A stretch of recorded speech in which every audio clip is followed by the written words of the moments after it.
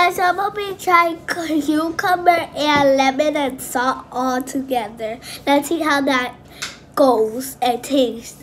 I'll be back with you guys when I have it. Bye. I have it.